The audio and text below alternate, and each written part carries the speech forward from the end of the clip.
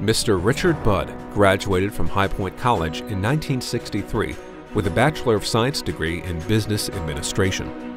Since graduation, Richard has served as president and CEO of the Budd Group, one of the leading facility services companies in the country.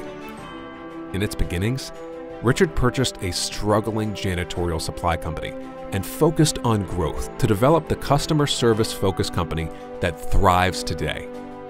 In the 1970s, the Budd Group expanded into other targeted markets, including janitorial, maintenance, and landscaping services.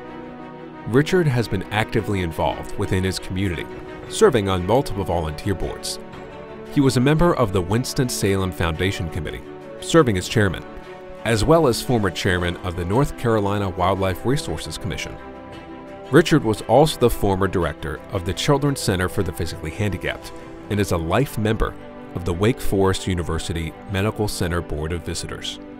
A passion for philanthropy has driven Richard to support the YMCA as a trustee for many years, where he was honored with the Red Triangle Award for Service.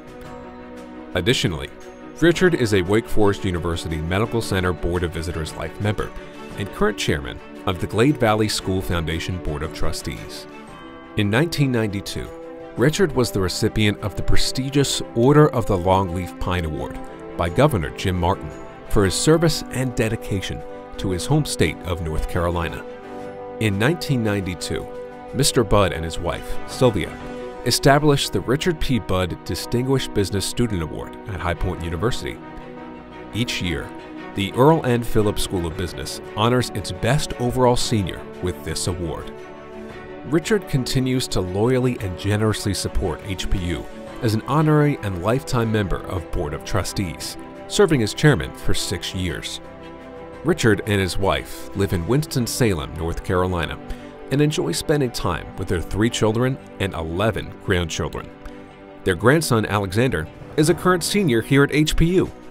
Congratulations to the 2017 Lifetime Achievement Award winner, Mr. Richard P. Budd.